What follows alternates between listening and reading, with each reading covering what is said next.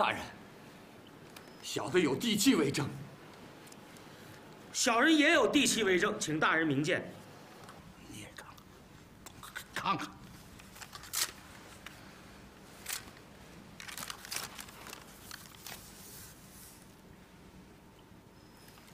大人啊，这两家的土地紧挨着，嗯，这地契上写的明明白白，以树影为界，应该没有什么争议呀。哦，嗨，你问问俺个，问他们，问他们呀！你这是大人。你们两家土地中间那棵树还在吗？在。既然树在，就以树影为界就是，还有什么可争议的呀？是吗？还有什么争议吗？回大人话，这份地契是我们两家的前辈立下的，当时立据时正是正月，大冬天，当然应该以冬天的树影为界。但这些年，于正一直以夏天的树影为界，占据了我家一大溜的土地。大人，请您断于正以冬天的树影为界，把多占的土地退还给小民。大人呐。这地契虽然是冬天草拟的，但到双方正式画押认可时，已经是夏天了。以后又一直按夏天的树影为界。周文的父亲在世时也未提出任何异议，这就证明应该按夏天的树影为界才是啊！大人，理由问明白了。什什么就明白了？俺怎么听得一头雾水啊？这夏天的树影子和冬天的树影子都是树影子，有什么不同？大人，夏天的日头偏北，冬天的日头偏南。既然日头有了偏差，那树影子也就发生了倾斜。倾斜？偏了？哈哈哈偏了多少？大概有好几尺吧。啊？大胆就不敏，几尺地也就仨瓜俩枣这点小事也敢跑来麻烦大老爷？哎，大人不是这样的。嗯，那什么样啊？老爷，树影子虽然只差几尺，可是顺着影子延伸出去，那是好大的一块地呀。你就直说吧，这案子。俺咋断啊？不不，大人，您是知县，只有您才能够断案呐，小的不敢插嘴。啊，使者，你呀，赶紧去俺家，你问俺妹夫东方朔，这案子咋断，赶紧回来告诉我。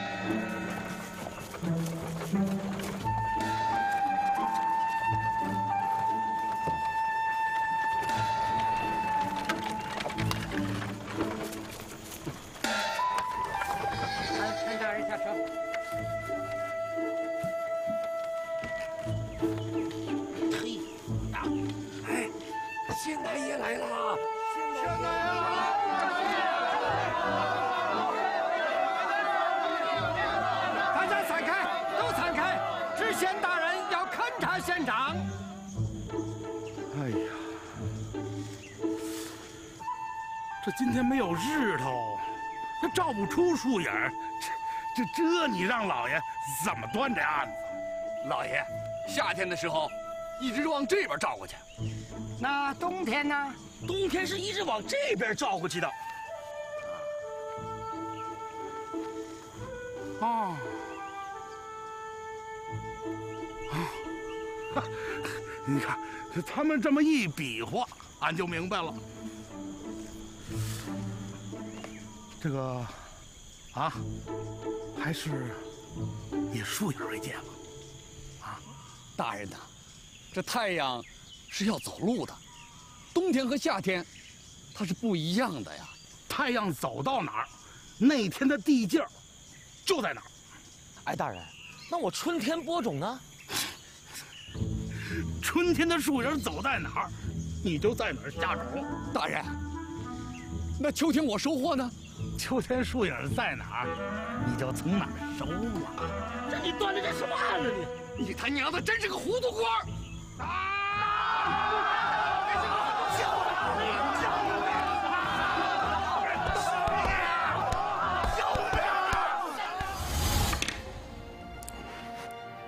这是怎么了？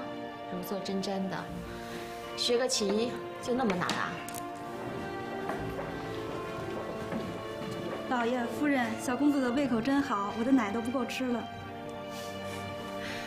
你去跟管家说一声，让他再请个奶娘来吧。哎，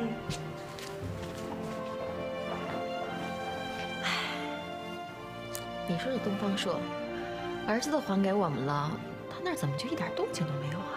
那是秋姑不行，怎么会是秋姑不行呢？秋姑不行，刘南公主也不行吗？我看啊，是东方朔的问题。这东方朔他怎么会有问题呢？估计啊是太聪明了，那些精气啊都吸到脑子去了，哪还生得出孩子？再说谁生不出孩子呢？东方兄大驾光临，怎么也没见通报？二位说谁呢？谁生不出孩子来？我们在说锦奎的一个弟子，可没敢说您。是是是。坐吧。哎，谢谢。你们二位挺有闲情雅致的，竟躲在家里头下起棋来了。景奎啊，早就坐不住了，这不又开始说挂印辞官的事儿呢。可这官要是真的再辞了，皇上可也真的要杀头了。哎，老虎关在笼子里是不会变成猫的，就像我东方朔，历经磨难，九死一生，可到头来，不还是一个东方朔吗？说的对呀、这叫做江山易改，秉性难移。哎，你说现在这个捐官的，把各个地方都搞成什么样子了？山西一位捐官，上任第一天就强抢民女，把一个不愿意跟他的姑娘硬拖进了洞房。南阳一位买来的县令公报私仇，把原来的仇家和七八个老小通通关进了大牢，罢了人家的田产妻女。至于那加捐派税、强征暴敛的事情，就更是层出不穷，满地皆是了。哎人家出了钱，捐了官儿，当然要尽快的捞回本了，还要再大赚一笔红利呢。我在各地的弟子天天都传信来说，要我管管这些事情，可是我就只能待在朝廷里当这种木鱼一样的老爷。大侠，嫂夫人，我今天不请而至，就是来请你大侠出手的呀。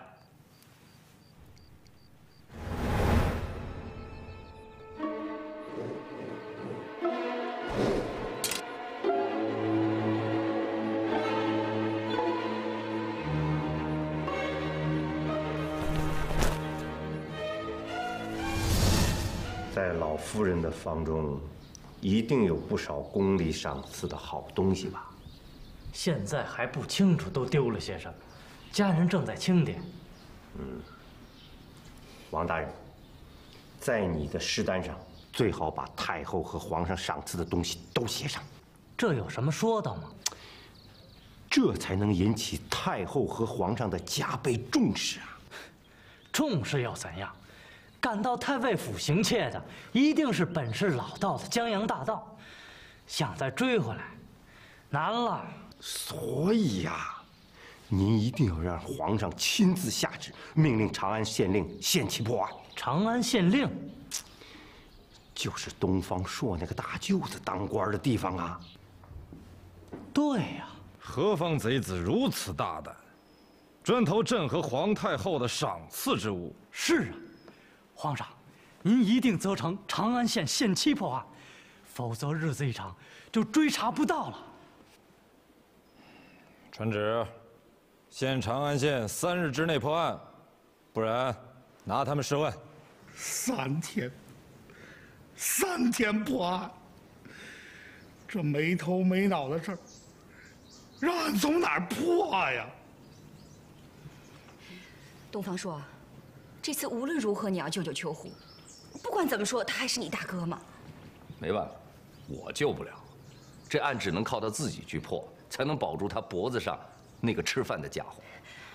就凭我哥那份猪脑子，你就帮他一下。我怎么帮啊？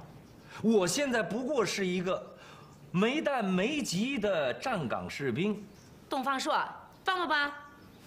帮不帮啊你？哎呀，老婆大人，不是我不帮，我要是真帮了他，那个王怀恶一定会到皇上那儿去告我的状，说我东方朔做官的心不死，而且还在暗中操纵一个县令。那皇上知道了，还不得把我的脑袋给剁下去啊？哦，那你就可以眼睁睁的看着皇上砍了俺是吧？那我怎么办？俺不干了，俺不做这官还不行吗？住手！秋胡，你当这住客栈呢？想来就来，想走就走的。哥，我还告诉你一句话，叫做“官身不自由，自由不做官”。你现在既然已经坐在这官位上了，就不是什么想做就做，想不干就不干。哎，就像你刚才这样，这是官帽啊，随便这么一甩，皇上知道了，就为这事儿也得把你的脑袋给剁下来。爹，天爷，这可咋好？这可咋好？东方朔，秋胡辛辛苦苦把你们拉扯大，你可不能见死不救啊！嫂子，这是两回事儿，不是我见死不救，是我实在没有办法救呀。哎呦，我的天儿啊！可了不得了，这货庄子！胡杨什么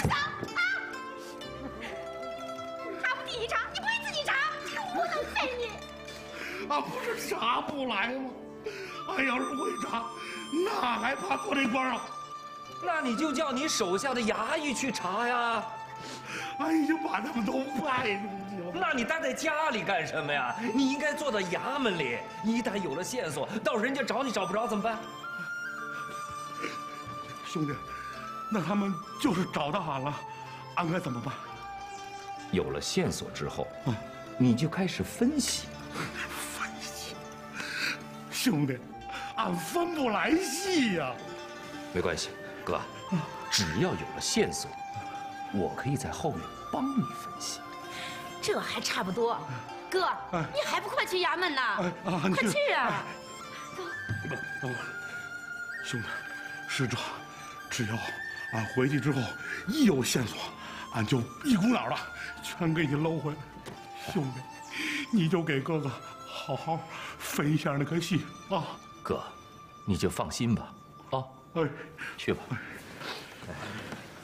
慢，官帽。你说，你说俺怎么就这么倒霉？人家戴这个帽帽吧，一辈子都没事儿，还赚了个锅满瓢满。你说俺一戴上，就出这么大乱子。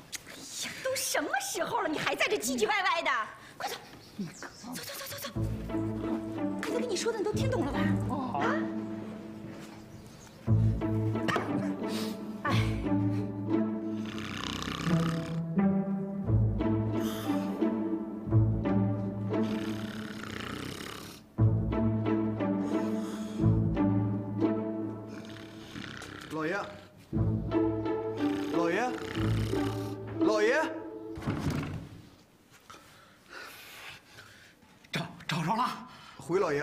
没找到。没找着？你回来干什么呀？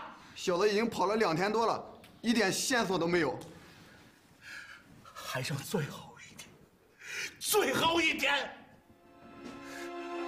天爷，你救救我，你救救俺呐！老爷，你找着了没有？没找着，没找着！你他娘的回来干什么？你们啊，滚！再找不着，俺先砍了你们！砍了你们！哎呀！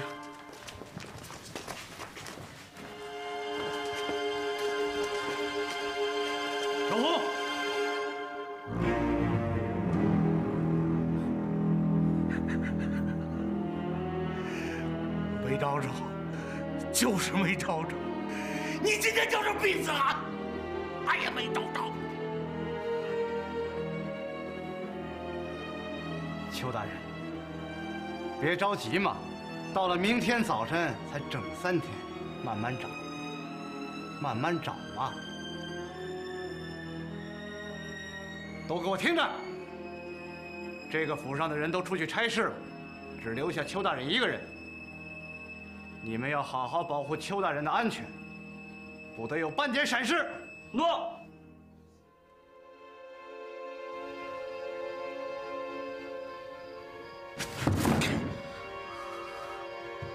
不行，俺不能让他们就这么砍了俺脑袋。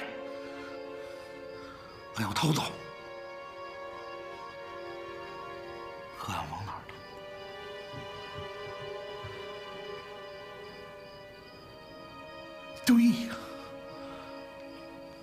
山东老家，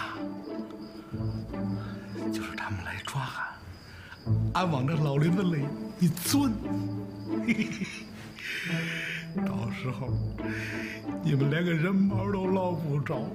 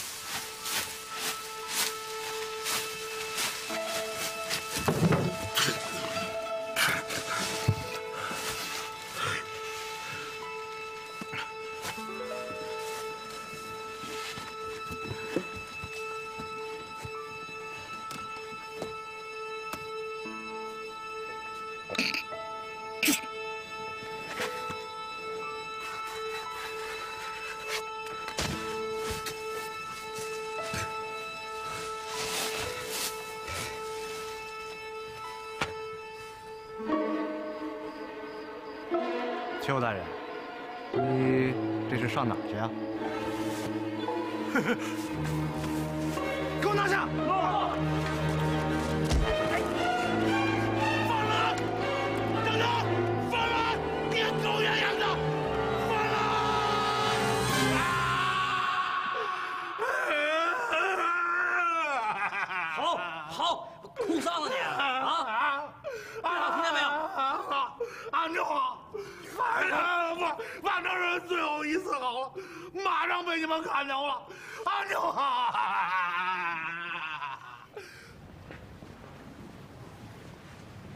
英飞啊，你在家闭门思过一个月，都思出了什么收获呀？回皇上，臣这一个月最大的收获，就是多长了三斤咸肉。你在家就除了吃吃了睡，一点儿都没反省。臣在家每日三省吾身，都醒出了些什么呀？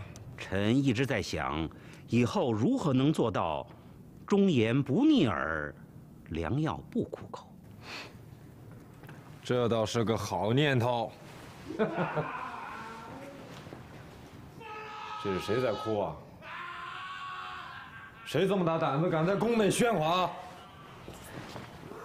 好像是个男人的哭声。秋胡，你要是再哭，本官找人把舌头给你割下来！张大人，怎么回事？皇上，微臣叩见皇上。免了，三太，这不是东方朔的七舅吗？回皇上，秋胡畏罪潜逃，臣将他捉拿回来，请皇上发落。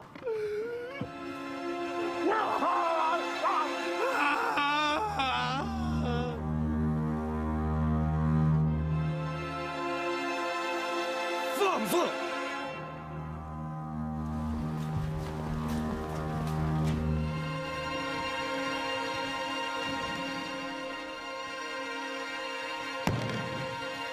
秋胡，大字不识一箩筐，居然也当了长安县令。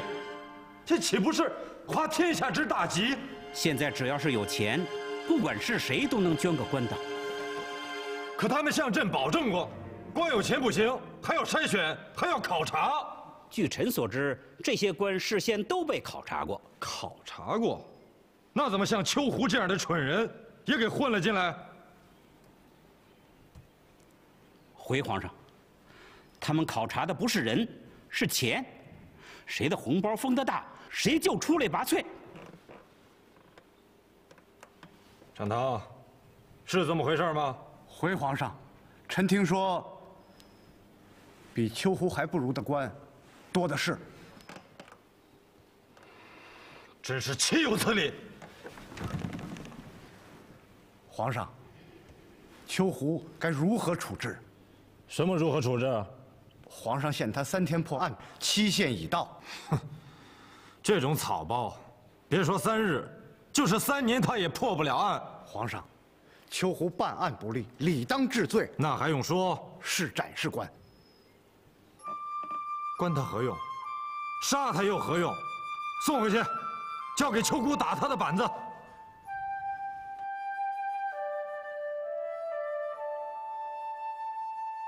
皇上，臣这几天查阅的一百五十多件奏章中，除了少数的几件之外，绝大部分都是参奏捐官的。皇上，明妃大人言过其实了吧？不要因为出了一个秋胡，就否定所有的捐官吧。呃，是啊，是啊，明妃大人，这叫不叫做一叶障目，不见泰山呐？嗯，皇上。臣也有十几份奏章，都是捐官胡作非为、逼反饥民的事儿。这当中有三名县令、一名州官已被打死，十二处的县府捐官都被百姓赶跑。这等聚众造反之事已犯大逆，绝不能姑息养奸。皇上圣明。皇上，据臣所知，一些藩王在这个时候却大量开仓赈粮，各地饥民纷纷依附。如果此时再不安抚，恐怕不到数月，这些藩王的势力又会超过原先的荆楚王了，请皇上三思。诸位爱卿，有什么好主意，快快给朕提出来。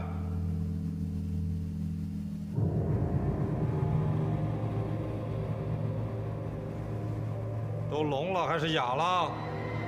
啊！朕需要你们替朕分忧的时候。竟然没有一个人站出来替朕献上计策。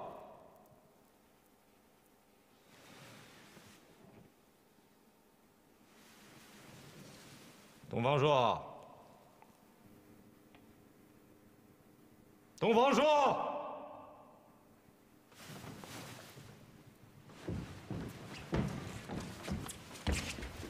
东方朔，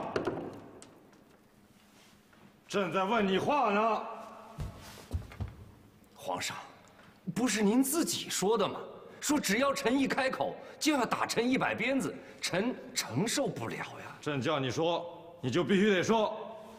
在装疯卖傻，朕马上赏你一百鞭子。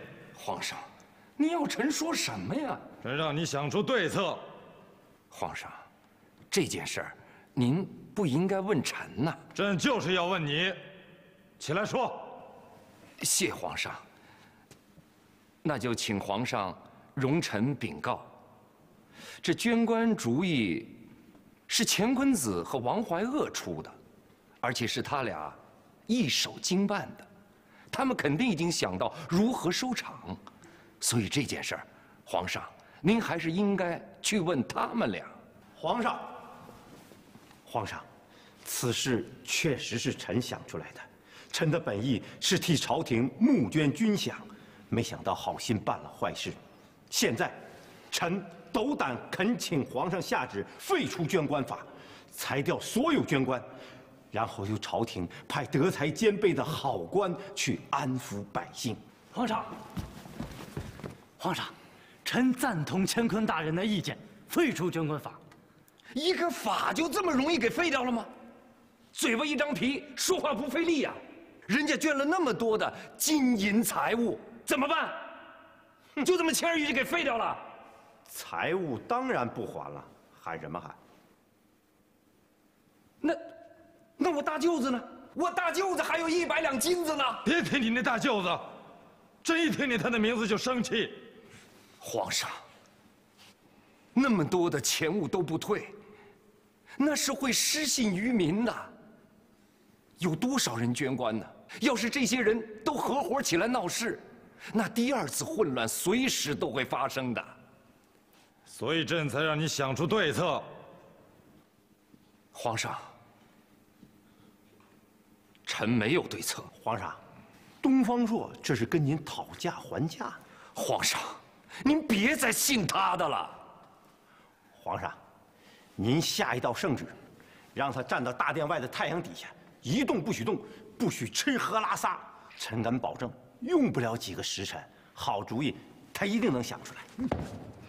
乾坤子，你这个人怎么这么坏呀？好，准奏。谢皇上，谢皇上。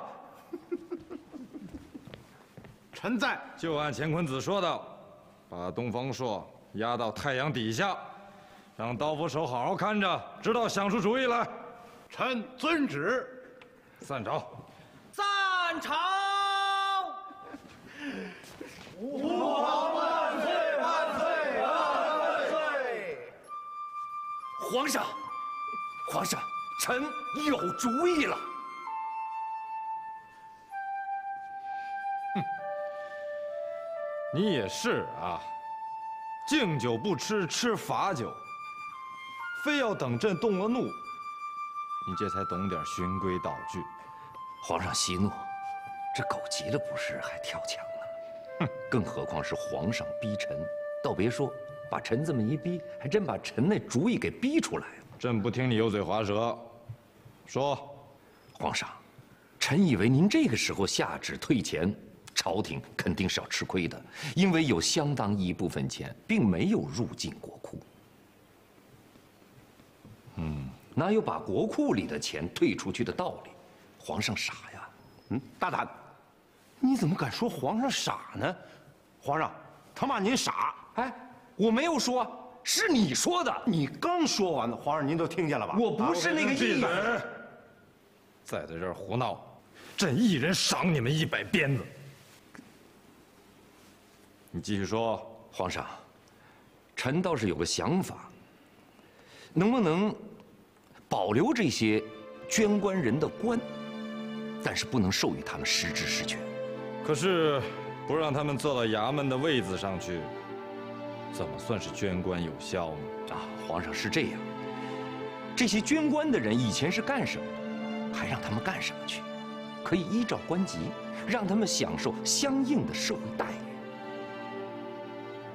那这待遇又是如何体现呢？比方说，有人捐了一个八百担，他虽然没有这八百担的实职实权，但是他可以享受这八百担相应的待遇。做个什么四抬大轿，在拜名帖上，除了写上自己的名字，边上可以让他用小字注明他是几级几级的官员。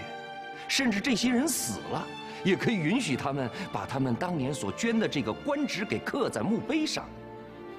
嗯，不错。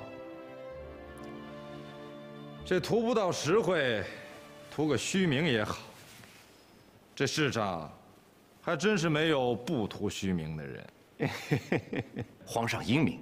还有，这个级别低的见着级别高的，必须得主动下马落轿问安。哪怕你是一个绸缎庄的老板，可你只捐了个两百担，这边这位是个卖烧饼的师傅。可人家捐了个五百担，那没办法。这个绸缎庄的老板见到这位卖烧饼的师傅，他也得主动下马问安。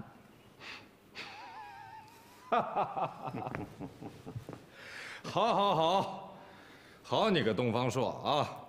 嗯，这总而言之呢，就是让他们真切感觉到，这有官衔和没官衔不一样，这官衔高和官衔低又不一样。对对对，这样人心也就安顺了，国库的钱也就不退了。好，还有没有？呃，何谓还有没有？皇上替朝廷敛财的办法呀？哦，臣没有办法了。真没有还是假没有？皇上，您就是把臣打死，臣也没有了。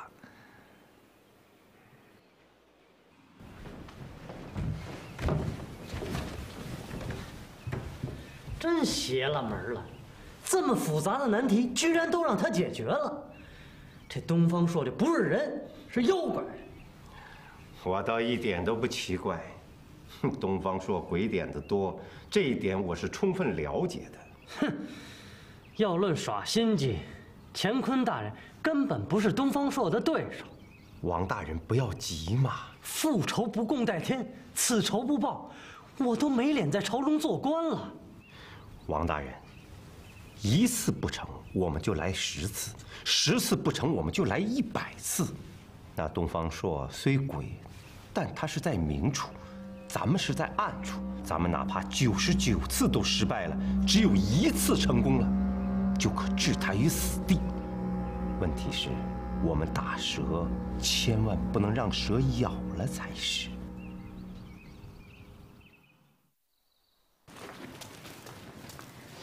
老爷，公主来了。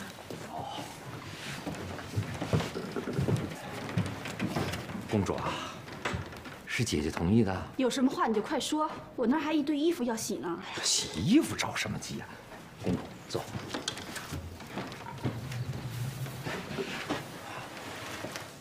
有一件事，麻烦公主带着健儿帮我到河南走一趟。去河南干什么？是去河南商县帮我找一个人，什么人啊？一个叫桑弘羊的少年郎，桑弘羊，是干什么的？是一位很有经商头脑、很会算账的年轻人。哦，我知道了，老爷是不是想辞官做生意，然后请他来做管账先生？不不不，不是我，我就是要请这位年轻人为皇上做管账先生，做朝廷里的财政大总管。既是为皇上招贤，那么多大臣不去，却派我去，公主，皇上不知道，你是想给皇上一个意外惊喜？就算是吧。啊，这里有一百一十两金子，你们拿出十两金子做往返的路费，剩下来的一百两金子，一定要送给那个年轻人桑弘羊的手里，做他的安家费。二位，无论如何都要帮我把这个年轻人请到长安来。这么多金子，你哪儿来的？你就甭问那么多了。是从姐姐房里偷来的吧？你怎么能这样呢？你刚被革了职，俸禄大减，还不知道以后会怎么样。这一大家子人，都靠这点金子过活了。就是就是，皇上都把你的乌纱帽给摘了，你还贴钱贴米的给他办事。好了好了，我说你们二位就少说两句无用之言，趁姐姐还不知道，你们赶紧动身吧。姐姐迟早会发现金子不见了，到时候你怎么办？打我一顿，骂我两句，拧拧我的耳朵，还能怎么样？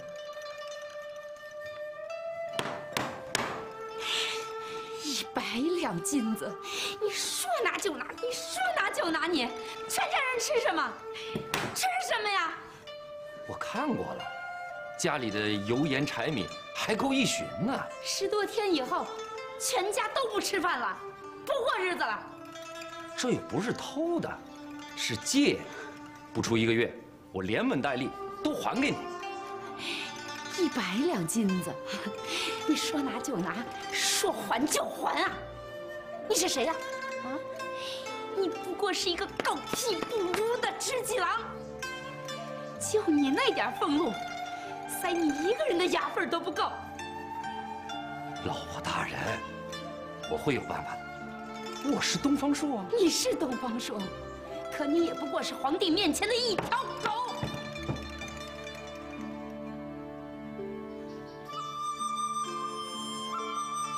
对，姐姐说的对啊，我是一条狗，而且还是一条心甘情愿的狗。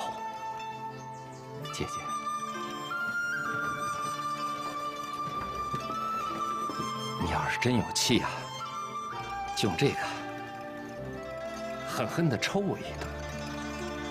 反正我这条狗啊。只有姐姐和皇上可以随便打。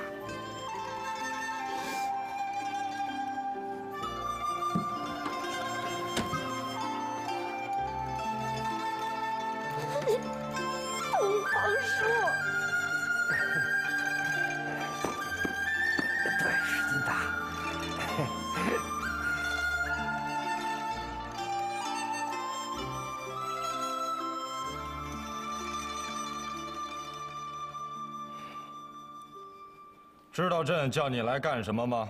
不知道。不知道，不知道。那你知道什么？说。臣只知道，把那些作奸犯科的不法之徒替皇上抓起来、关起来、吊起来。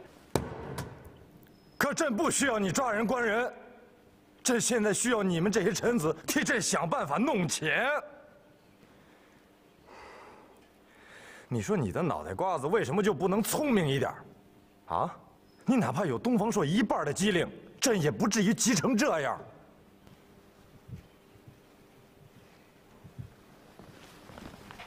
启禀皇上，乾坤大人来了。臣见过皇上。免了。谢皇上。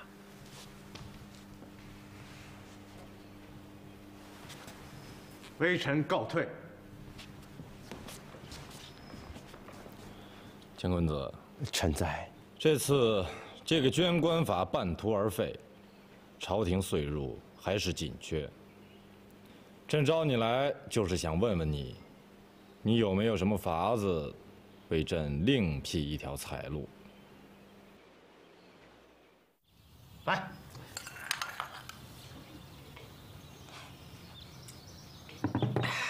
好。你说做盐生意的商贾，肥的竟富可敌国。那你呢？你刚才说做铁的生意。怎么能将一赚十呢？张大人，这事儿是这样的。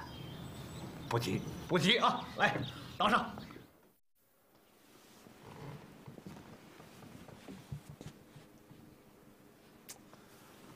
哎呀，东方朔，你可不是不止一次的跟我夸着海口，说筹备打仗的这点钱粮。那对你来说是小菜一碟啊，啊！你这个人怎么无中生有啊？哎，我什么时候说过这话？我在哪儿说过这样的话？你看你这记皇上，臣任何主意都没有。皇上，东方朔是对您把他贬为执戟郎心怀不满。您如果让他官复原职，臣敢保证，好主意他立马就能想出来。那好，东方朔，臣在。只要你想的主意能为朕消灭匈奴，弄来钱粮，朕马上让你官复原职。谢恩呐，谢恩呐！皇上，您大德如天，不过臣，臣在其他方面还是有些自信，能够帮着皇上分分忧、解解难。可是，在这谋财害命方面，臣要比乾坤大人 差出一大截儿。这方面的主意，乾坤大人的肚子里有的是。东方朔，你太不仗义了！我求皇上给你官复原职，你居然还能这样！但是我不会计较你血口喷人。皇上，臣有主意，能让东方朔开口。那快快讲来。诺。皇上，您赏东方朔半桶凉水，让他喝了，站到那儿一动不能动。他要是胆敢撒出一滴尿来，您就阉了他。我臣敢保证，他肚里的好主意很快就会想出来的。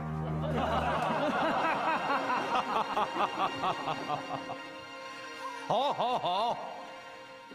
哎呀，乾坤子啊，你这一招可真是够狠的。不过一般来说，也只有最知根知底的好友之间，这一针扎下去，才是最能见血的。好。准奏，谢皇上。皇上，皇上，您这是要了臣的命呀！那你是觉得冤枉了？也是啊，你和乾坤子既是同乡，又是好友，自然也就应该有福同享，有难同当。那这样吧，朕决定让乾坤子也喝半桶凉水陪你站着。啊，在好主意想出来之前，谁要是敢尿一滴尿。朕就把他阉做太监。皇上，皇上，好主意都在东方朔的肚子里，您怎么让臣喝凉水呀？那当然，是你担保他能够想出好主意。如果想不出，你这保人当然也有连坐之罪啊。哎呦，皇上，就这样了。张汤，臣在，你就来当这个。执行官吧。